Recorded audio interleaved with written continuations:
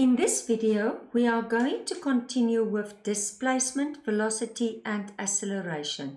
You will find this on page 352 in the Namibia AS level mathematics textbook y equals mx plus c to success.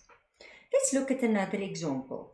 A particle travels in a straight line so that t seconds after leaving a fixed point O, the velocity v meters per second is given by that is the velocity. Find the initial velocity.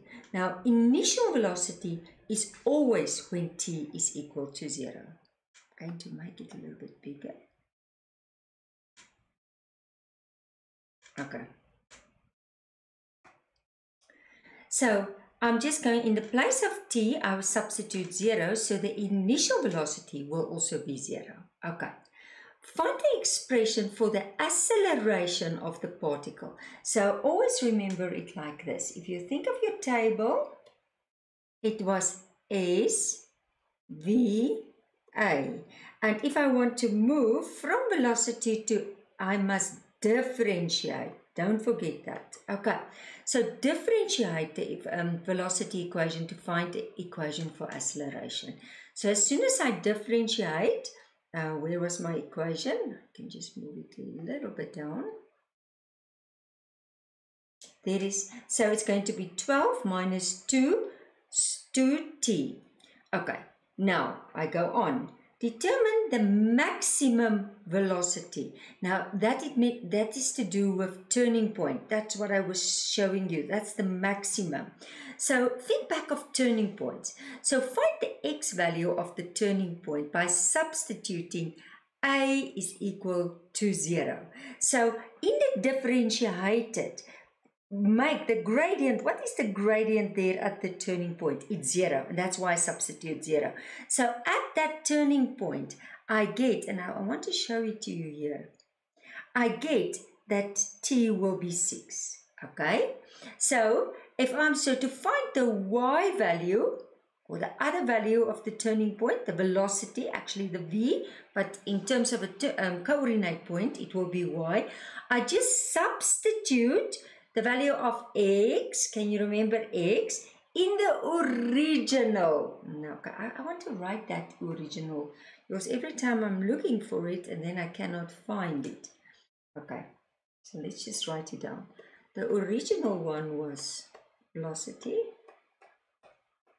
So I take that value of 6 and I substitute it in the original. Okay, and then the maximum velocity will be 36. Okay, so think of a turning point. Then find the distance. Oh, I must go back. So I must go back from velocity. Then what will I do? I will integrate. Okay. Okay, so uh, find the distance of the travel during the first. So it's from 0 to 2. So 0 to 2 and I'm going to integrate. And if I integrate, I add 1, divide by that 1 plus 1 is 2, divide by the 2, add 1, divide by 3, 2 and 0. And then I substitute. And then usually this is going to become 0, but not always, especially if we, in the next chapter, with integration, work with ln and e. So it's better just to check it out. And then I get my answer. Okay, and that's 21 and a third meters. And determine when the particle comes to rest. Okay, so very important. The particle comes to rest when there's no movement, when the velocity is zero. So basically in this, I'm just going to put zero. And if I put this, this is uh, it's at rest at zero, and then after 12 seconds, then it, it's coming also to rest. Okay. It's a bit more complicated and more things, but it's just bringing back the knowledge of differentiation and also the knowledge of integration. Okay, I want you to stop the video and I want you to do number one. Let's just move it down. Move it like this that you can see it nice. Okay, you can do number one. Okay, You can continue the video as soon as you are finished, but first try to do it on your own. I read. A bus starts from Res at crossroads B and travel in a straight line with acceleration A by, so they're giving acceleration, where T second, seconds in the time taken after leading B. Okay. Find an expression for the velocity. Now, I always, let's just first make it number one. So, if I'm going to have speed, ach, not speed, not speed. this is going to be distance, velocity, acceleration. So I'm going to always remember this. I also created a nice poster on this. And then integration.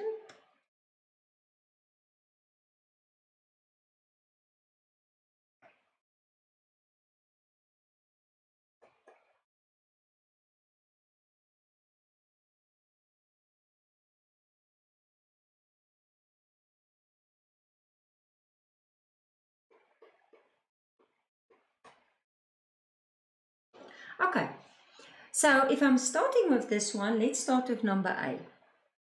Uh, don't forget, uh, that's A, but that's also acceleration. Okay, find the expression for velocity. So from A to V, then I'm just going to say to get V, I'm just going to integrate. Don't forget you are integrating to t. That's why I write dt.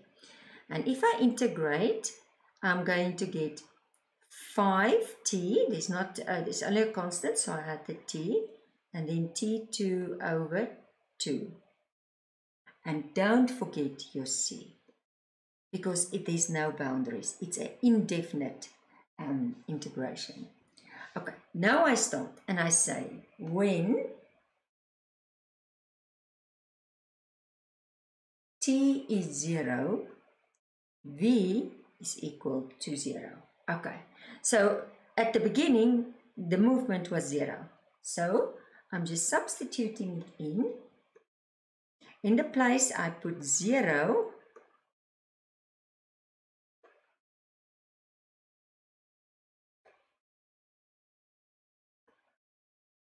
and therefore I get C1 is equal to 0 and v is equal to 5t minus t squared over 2. Okay, now I'm going to go on to number b. Um, I think we can make it a bit smaller now because you already were reading the question. Gives me to write a little bit. Okay. Number B, the first one. The bus next comes to rest at traffic light D. Okay. Find the time taken to reach D. So don't forget, at rest,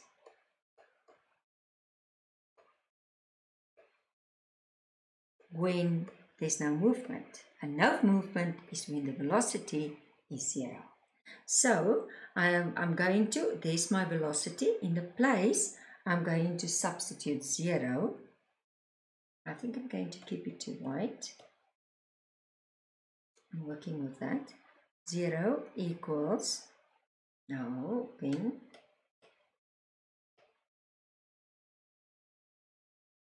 Zero equals five t minus t squared over oh, over 2. So basically, I, I think you can get rid of the 2, but it's not necessary. Just take t out.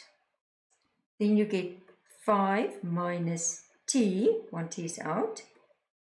So therefore, t is at 0, it's at rest um, or And now you just put that one, 5 minus t over 2 equals 0. So 5, I'm doing it long. Okay, it's not necessary. t over 2, so put it over 1, cross multiply. So therefore, t is equal to 10. Okay, so now because it's like a word sum, always word sums, we, we like to end nicely. Usually sometimes. So therefore, time taken to reach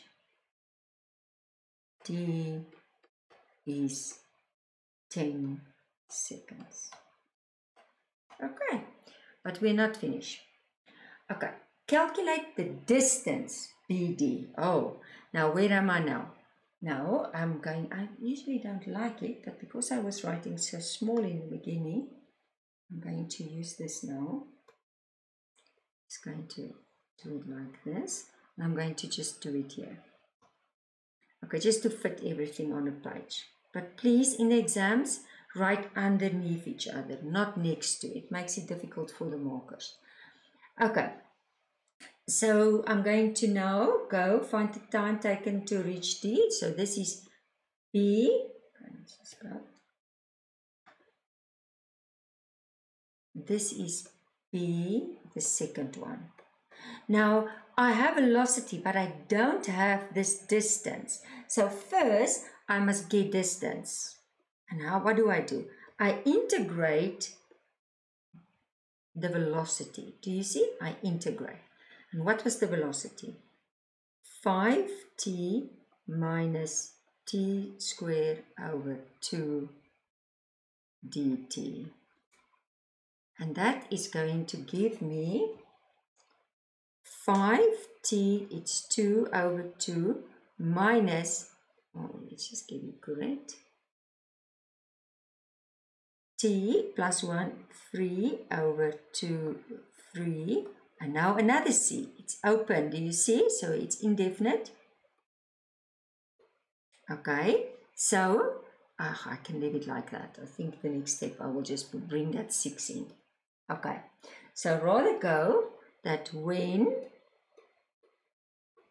t is 0, s is also 0. So basically, I'm going to say 0 equals, and now I just substitute all that zeros in the place of t. Now I bring the 6, do you see?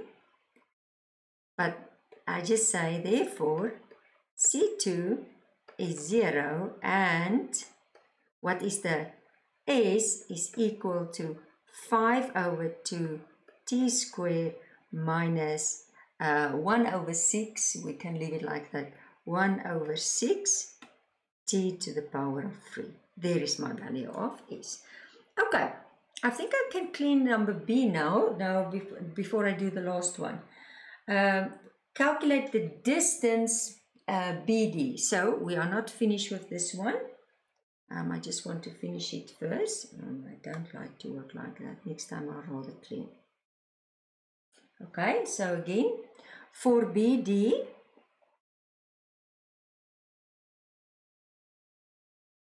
for BD, when, don't forget, when T is 10, so then S is equal to 5 over 2, 10 square minus 1 over 6, 10 to the power of 3. And if you take your calculator, work this out, you're going to get 83 and one third meter. That's going to be your answer. Okay, and then the final one. Okay, I'm asking, find the maximum. Now I must clean. Okay, I used the 10 and this is why I was not cleaning. Really don't like to write like this. I'll not do it in the next video. I'll rather clean from the beginning. Okay.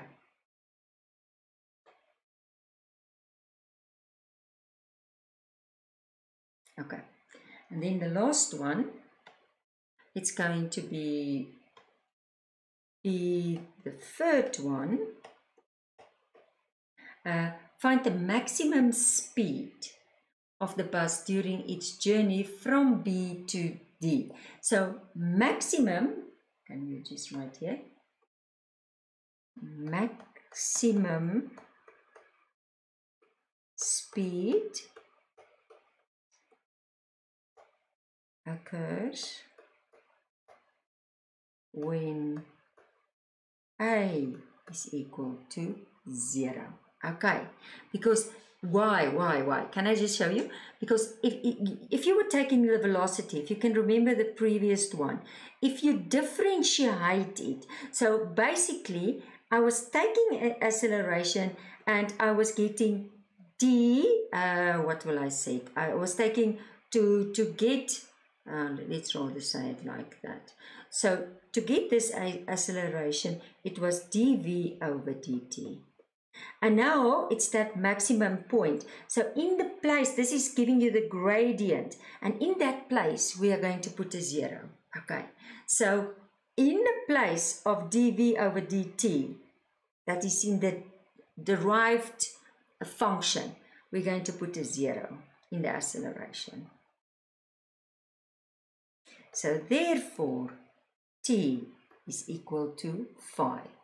And now I found t, I found t, but um, oh, the question was find the maximum speed. Speed is with velocity.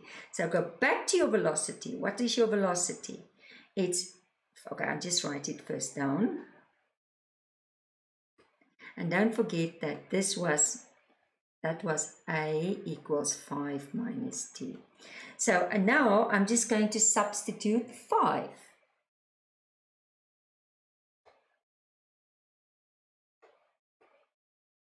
And again, if I calculate that, I'm just going to get 12 and a half meters per second. And that is going to be the maximum speed. Okay, so it's it's like after you put think of think of think of think of this. Okay, so this is T. I would just want to explain it a little bit more. And and this is V. So after you take this and you differentiate, then you get this formula. Okay, then you get that value, and that will give you that value which was 5. But then you always put it not in A, in the original formula. And in the original formula was V. Then you substitute in V. So basically, you were just getting that turning point. That was 5.